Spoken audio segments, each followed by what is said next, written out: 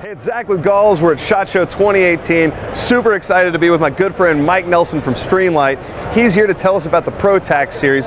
What do we got, Mike? Hey, Zach. Of course, the ProTac series has become one of the most popular lines of lights for Streamlight because of everyday carry.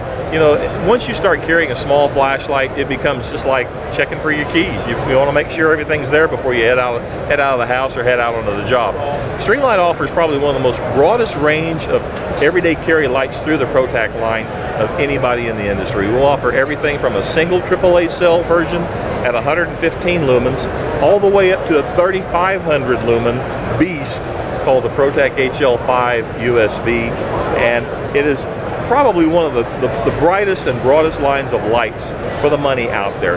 We offer everything from dual fuel lights that offer uh, give you the ability to use a AA light uh, battery or a lithium 123 battery, either one in the same light to get performance out of it.